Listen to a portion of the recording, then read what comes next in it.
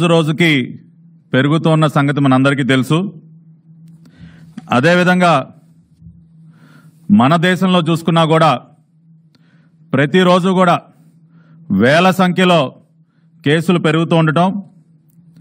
మరి ఈరోజు ఉదయానికి దాదాపు పంతొమ్మిది లక్షల అరవై ఏడు వేల ఎనిమిది వందల కేసులు నమోదైనటువంటి పరిస్థితి. అంటే దాదాపు ఇరవై లక్షల కేసులకి దగ్గరగా ఈ రోజున భారతదేశం చేరుకుంటున్నటువంటి పరిస్థితి. అదేవిధంగా దాదాపు నలభై వేల మంది మరి ఈరోజు ఉదయానికి మరణించినటువంటి పరిస్థితి. ప్రపంచంలోనే కేసులు అత్యధికంగా నమోదైనటువంటి మూడవ దేశంగా ఈ రోజున భారతదేశం మరి తన స్థానాన్ని మూడో స్థానంలో ఉండటం మనం చూస్తూ ఉన్నాం. అదేవిధంగా మన దేశంలో గనక ఒకసారి మనం గమనించినట్లయితే కేసులు అత్యధికంగా పెరుగుతున్నటువంటి రాష్ట్రాలలో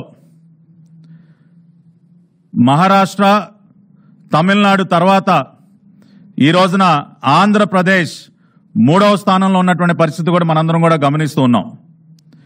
ప్రతిరోజు వేల సంఖ్యలో మన రాష్ట్రంలో కూడా కేసులు పెరుగుతూ ఉండటం. మరి నిన్న ఒక్కరోజే దాదాపుగా మరి పదివేల నూట ఇరవై ఎనిమిది కేసులు నిన్న ఒక్కరోజే మరి ఆంధ్ర రాష్ట్రంలో నమోదైనటువంటి పరిస్థితి.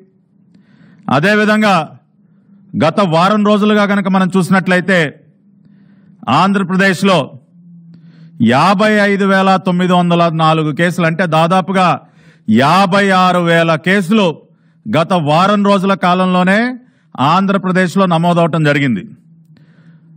అదేవిధంగా దేశవ్యాప్తంగా చూసినట్లయితే గత వారం రోజుల కాలంలో మూడు లక్షల ఇరవై మూడు వేల ఆరు వందల డెబ్బై ఒక్క కేసులు దేశవ్యాప్తంగా నమోదైతే at an average daily growth rate of two point eight two percent అంటే national average growth rate daily average growth rate two point eight two పర్సెంట్తో గత వారం రోజుల కాలంలో మూడు లక్షల ఇరవై మూడు వేల కేసులు నమోదైతే మన రాష్ట్రంలో daily average growth rate six point one one percent ఆరు పాయింట్ ఒక్క ఒకటి ఒక శాతం.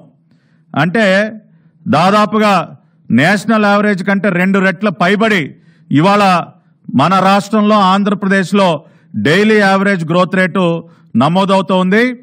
ఇది దేశంలోనే అత్యధికం. ఇండియాలోనే highest daily average growth rate is being recorded in the state of Andhra Pradesh.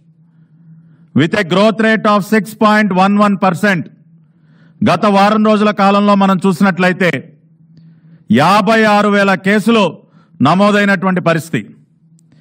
అదేవిధంగా అంటే మహారాష్ట్రతో సరి సమానంగా అంటే నెంబర్ ఆఫ్ కేసెస్ పరంగా చూసినట్లయితే గత వారం రోజుల్లో మహారాష్ట్రలో యాభై ఆరు వేల నాలుగు వందల కేసులు నమోదైతే